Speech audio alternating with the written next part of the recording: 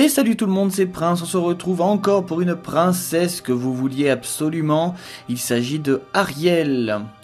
Ariel est une jeune sirène âgée de 16 ans, c'est la plus jeune des sept filles du roi Triton, ce qui fait d'elle une véritable princesse. Elle est aventureuse et passionnée par le monde des humains, ce qui va être une source de conflit avec son père. Ariel est inspirée du personnage principal du conte d'Anderson, la petite sirène, une jeune sirène de 15 ans qui n'avait pas de nom spécifique.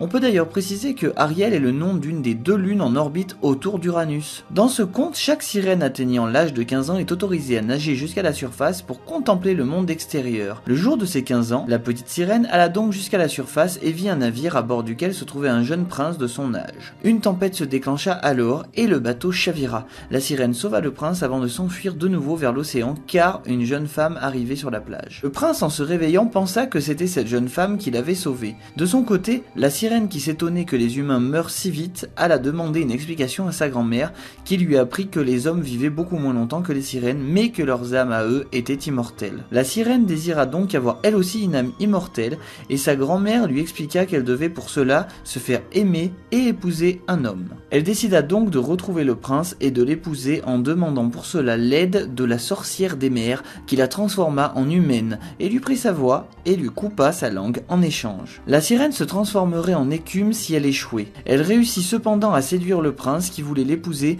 mais fut contraint par ses parents d'épouser une princesse. Il n'était au début pas d'accord avec leur choix mais lorsqu'il rencontra la princesse il reconnut la jeune fille qu'il avait vue sur la plage et en tomba immédiatement amoureux. Ils se marièrent donc et la sirène désespérée n'avait plus que deux choix. Devenir écume comme lui avait dit la sorcière ou tuer le prince pour redevenir une sirène. Mais elle ne put se résoudre à tuer le prince et sauta à l'eau. Cependant, sa bonne action l'avait sauvée et au lieu de se transformer en écume, elle rejoignit des esprits qu'on appelle les filles de l'air. Les studios Disney avaient prévu d'adapter le conte dès le début des années 1930, puis avaient abandonné le projet. Mais les animateurs ont quand même puisé leur inspiration dans les archives de l'ancien projet. Ce film est le premier depuis La Belle au Bois dormant à utiliser un conte populaire comme base de scénario et c'est le dernier long métrage de Disney à utiliser la traditionnelle technique de cellulose peint à la main. C'est également le premier film Disney depuis L'apprenti sorcière à recevoir un Oscar et son succès a permis à Disney d'effacer toutes les pertes accumulées depuis la sortie du film Le Trou Noir en 1979, soit 10 ans plus tôt. L'apparence d'Ariel est inspirée de l'actrice américaine Alyssa Milano, Sherry Stoner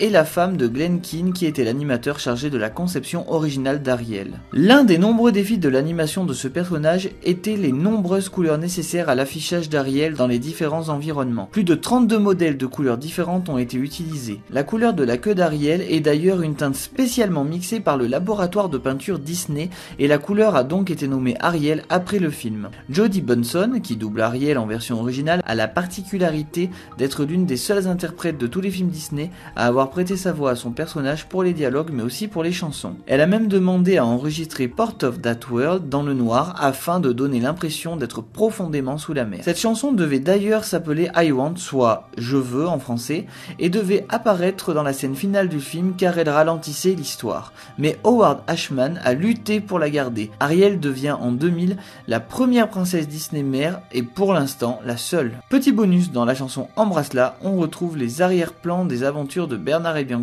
qui ont été réutilisés. Elle fait quelques apparitions dans Once Upon a Time, a eu quelques jeux vidéo et bien sûr la petite sirène originale a inspiré des tonnes de films différents où la petite sirène est d'ailleurs considérée comme une mutante dans un cirque. On espère que ce zoom assez demandé vous a plu, je vous laisse la semaine prochaine avec Princesse et je vous fais des gros bisous.